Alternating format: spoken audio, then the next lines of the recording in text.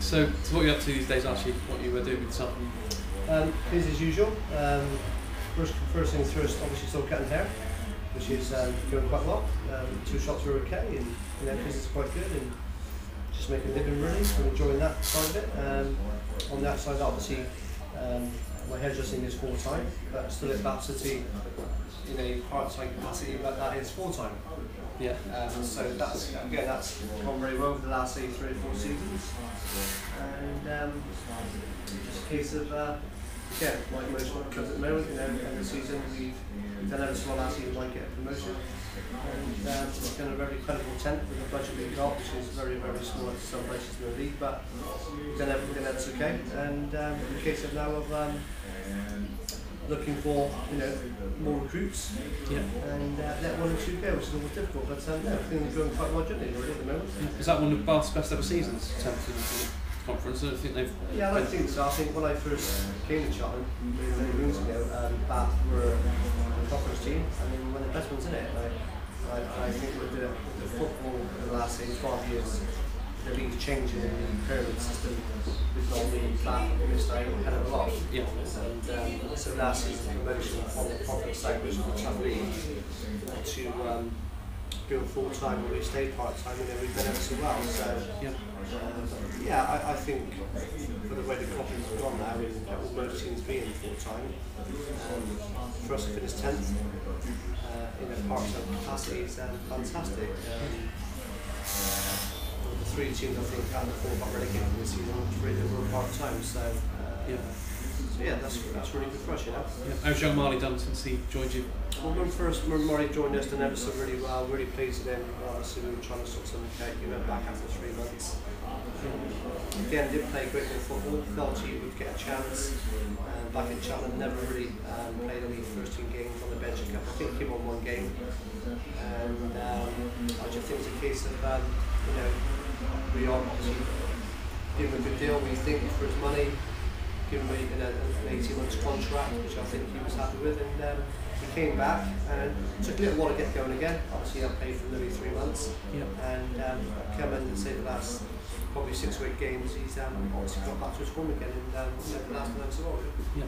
So looking back on, on Cheltenham days, I mean, it must be a massive part of your life. You were there for I think 12, 13 years, weren't you, at the club? Yes. Could you could you have believed what, what you what you were going to achieve when you first signed in sort of '91? I think it was, wasn't it? No, not at all. I think. I I remember before I remember first going to the ground and asking uh, a gentleman when the ground was, and he didn't realise I was at the club, and that was quite a funny situation at the time. But no, as things have gone on, it's uh, I, I, I just came up from a different country, and I really enjoyed.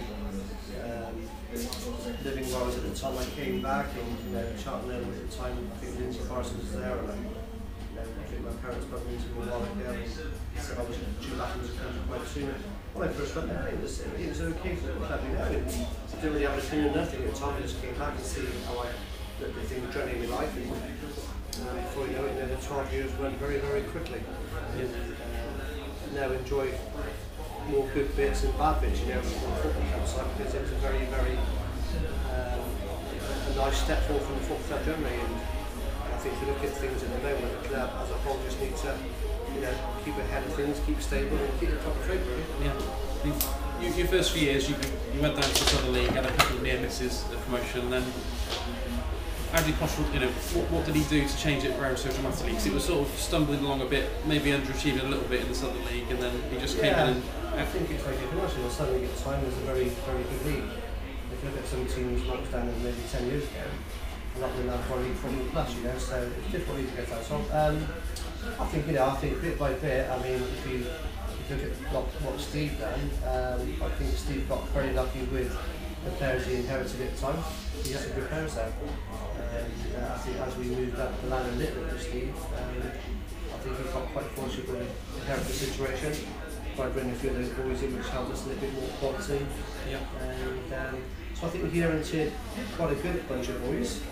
Um, and I suppose in a way, you know, we were fortunate at the time to come second. I think Gresley won it by a, uh, by a big distance, and I think we were fortunate enough at the time to um, you know get promoted. But um, you know, within the two years then, again, it was quite a difficult sort of league to get our top even the conference. You know, we done it so on the first year and came second after a bit of a in a if you start.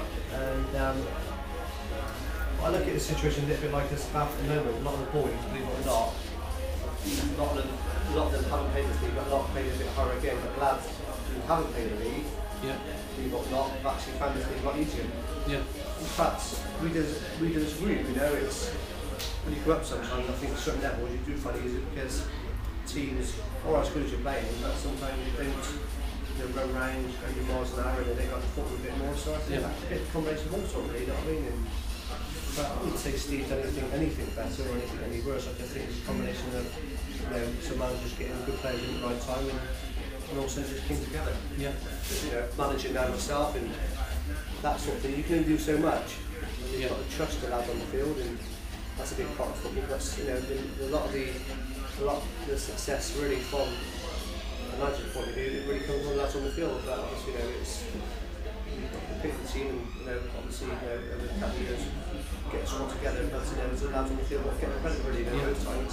Yeah. Um, tell me a bit about Mark Yates then, actually, because you played with him Yeah, I think Mark years. for a long, long time. Yeah, I think obviously Steve at the time we were playing. I think Killington and Mark always seemed to do well against us. Yeah. And uh, you know, very competitive and you know, good, good ball winner and um, you know, it was a good combination there. do you know what I mean, I was there for years and um, that's a good partners over the years. You know, centre field and reason and um, and now I think it's like everything else. You know, Mark always wanted. I think we get into the coaching side of it, and the man side of it. And I think he always looked upon that when his football career finished. And, um, um, now they've done the same, obviously, why not? You know, obviously, we're two minutes done really well there.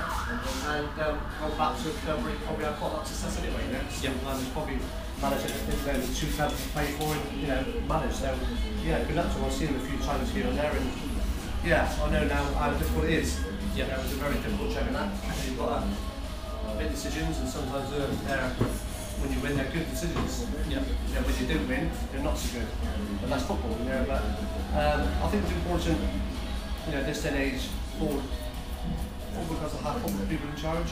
Yeah. You know, whether they're you know, putting money or big money into it, and it's going to football people because football doesn't always, you know, give you the right. Um, you can say, you know, don't always give you that the right, right touch to win games. Yeah. You know, and it's been games this season when Bath we won, we don't deserve to win. There's other games that we've done really well and less than that. That's Yeah. football. But you have people who want to keep chopping and change and manage every two minutes, then um, I don't think clubs really go forward, you know? Yeah. Football, you know? Yeah. So how did you end up sort of going into hairdressing? Because I think when you were at Cheltenham, you were you were at one stage working at a scrap metal place, weren't you? Yeah, I did actually. Yeah, it's one of those sort of things where I, when I when I came back from Australia, I to obviously give it knock on the head for a few years, and I went to football, especially on Saturdays. Yeah. Um, got myself a job working scrap scrap trade, which is it was a great lad working there.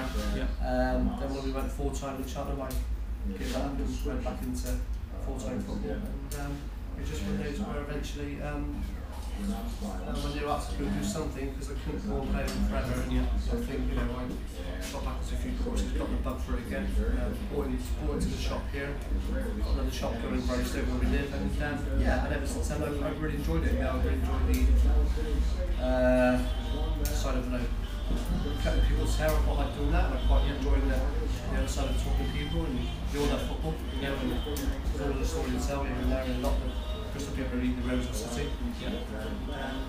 No, it's, it's an interesting job. You know, it's a nice job. You know, we get all sorts in here. Yeah. And the local tramp, the local barristers, the local policemen. So you know, we get them all here. So it's good fun.